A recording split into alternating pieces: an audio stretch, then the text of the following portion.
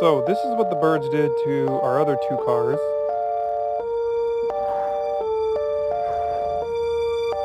They must have been like sitting like right here. Just decided to, uh, I don't know, take a little dumparoo, but. And now we're walking. This is not even our house. And this one too.